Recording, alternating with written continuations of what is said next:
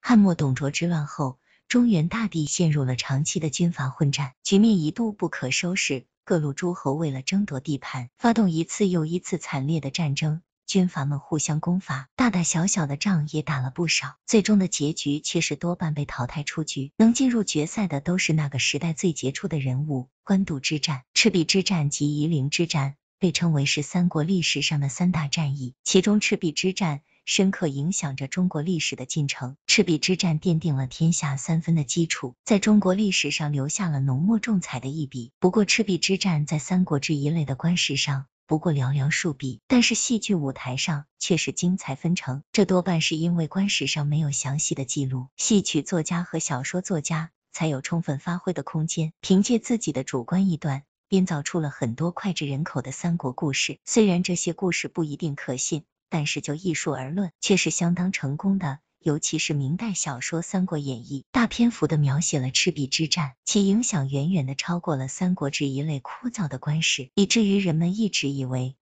三国演义》就是真实的三国历史。《三国演义》所描写的人物性格突出，形象鲜明，栩栩如生，跃然纸上，给读者或者观众留下了深刻的印象，以至于我们脑海中的三国人物。都是演义里的形象，《三国演义》有明显的倾向性，很多人物被严重歪曲。演义的作者是以蜀汉为正统，为了重点突出刘备集团，对曹魏集团和孙吴集团基本上是持否定的态度，对曹操更是严重的丑化和妖魔化，而对孙吴集团主要是矮化。其中孙吴的集团被矮化最严重的是周瑜，其次是鲁肃。在演义中，诸葛亮被塑造成为活神仙，而周瑜被完全歪曲的成为一个小肚鸡肠的凡夫俗子。除了一味的对诸葛亮羡慕妒忌恨，没有多少突出的表现，可以说是才能平平，完全就是诸葛亮的配角。诸葛亮也不知道搞好团结，周瑜越是嫉妒他，他越是要卖弄自己的各种小聪明。在赤壁之战后，诸葛亮继续跟周瑜斗法。诸葛亮更加频繁的卖弄自己超人的智慧，周瑜更加羡慕嫉妒恨，但就是斗不过诸葛亮，一次又一次被诸葛亮打败，周瑜毫无办法，气得干瞪眼。终于在气到第三次的时候，心理素质不及格的周瑜被诸葛亮气得吐血三斗，竟然活活的给气死了。这就是有名的三气周瑜的故事。同时，演义中不仅将周瑜被刻画成了一个小心眼，而且为了进一步贬低周瑜、抬高诸葛亮，作者将赤壁之战中周瑜的功劳也一股脑儿算到诸葛亮的账上，好像赤壁之战孙刘联军打败曹操，靠的全是诸葛亮呼风唤雨。小说作为文艺作品，有时候是可以用来做宣传的，宣传的东西事实一再证明是靠不住的，甚至在很多时候宣传是当不得真的。自然，戏曲舞台上的那个周瑜，肯定不是历史上那个领导以少胜多战役的周郎。基本常识告诉我们，周瑜作为孙刘联军与曹操作战的前线总指挥，绝非泛泛之辈。这场战役最大的功臣也只能是周瑜，而绝非诸葛亮，因为只有总指挥才有立下汗马功劳的机会。诸葛亮不管多么用兵如神，他也没有直接指挥军队。跟敌人对阵的机会，其实诸葛亮此时不过是刘备集团的代表，刘备集团的军队指挥权也不在诸葛亮手上，他对战争的影响还是很有限的。另外，赤壁之战的时候，诸葛亮跟周瑜未必就有那么多接触的机会。在赤壁之战前后，诸葛亮跟孙权方面接触更多的是鲁肃，而不是周瑜。实际上，在三国历史上，诸葛亮真正成为主角是在六出祁山的时候。刘备死后才是他的舞台，诸葛亮治蜀伐魏才是他得意之作，火烧赤壁是周瑜一生的大手笔，诸葛亮不过是这出大戏的配角。戏曲舞台上或者影视剧里的周瑜形象都不是很好，至少才干方面是处处输于诸葛亮的。但是实际情况，周瑜才是赤壁之战的主角，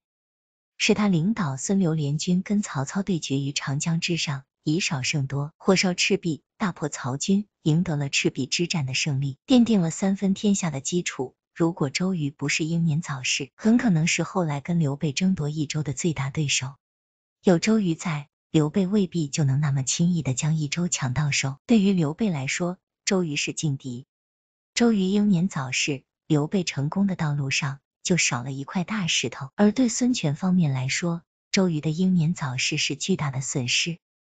孙氏集团的成长壮大都离不开周瑜的支持，周瑜可以说是孙氏集团的开业功臣。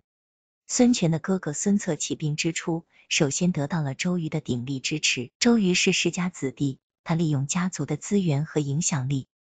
一路追随孙策，忠心耿耿，帮助孙氏兄弟称霸江东。可以说，周瑜对孙吴集团也做到了鞠躬尽瘁，死而后已。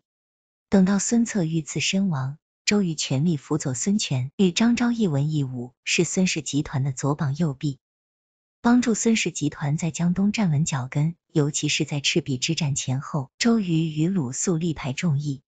主张抗曹。鲁肃的意见当然也很重要，孙权本人更倾向于战而不愿意投降，也是关键因素。但是说到底，最终决定战和降的，有时候不是人的意志所能决定，实力才是重中之重。周瑜是孙吴集团的大都督，尤其是在孙权不愿意投降。而想跟曹操一决雌雄的时候，还是要需要依靠周瑜。周瑜也是主战的，更加坚定了孙权抗曹的决心。孙氏兄弟都是少年英雄，但是孙权此时毕竟还不到三十岁，没有太多的作战经验，对付皇祖之流的地方军阀绰绰有余。但是自己跟曹操实力悬殊，对抗强大的曹操，说实在的，孙权还真的没有胜算的把握。简直就是心里还没底，更主要的是，此时曹操已经拿下了荆州的襄阳，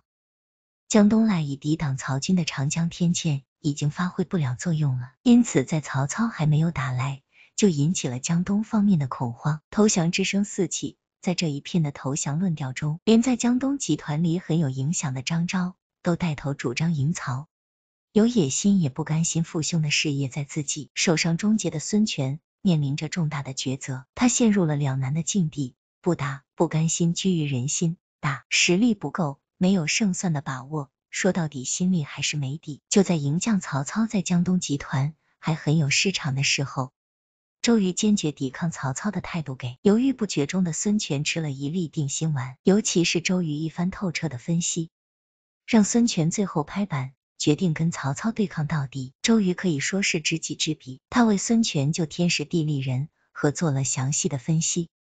他表示他有把握以少胜多，他认为当前的形势不利于敌人，而是有利于我们。周瑜的自信给了孙权信心和勇气，这当然也让孙权决定跟刘备缔结同盟关系，以对抗共同的敌人。所以如果要问，